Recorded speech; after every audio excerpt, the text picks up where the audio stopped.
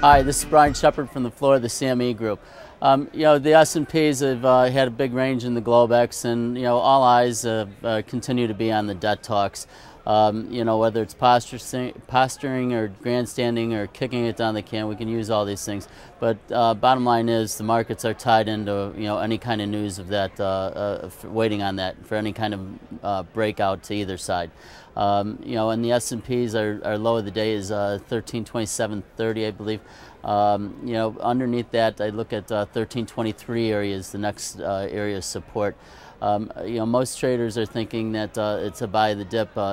Floor traders are talking about buy the dip until proven otherwise.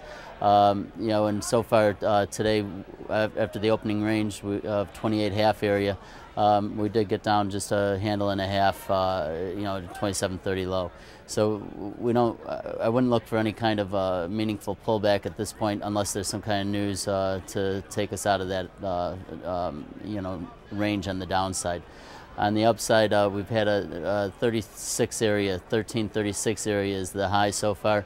Um, above that, I pointed out uh, 1338 half, I believe, is the next uh, area of resistance. Uh, and above that, we've got some minor resistance along the way, but 1343 would be the next uh, key objective, I believe, on the upside.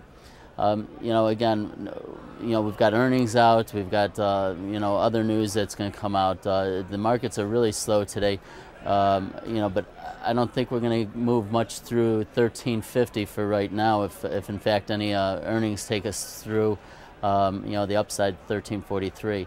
Um, I, what I see is 1350 uh, is uh, being a key psychological uh, number for right now. Um, you have a great day trading.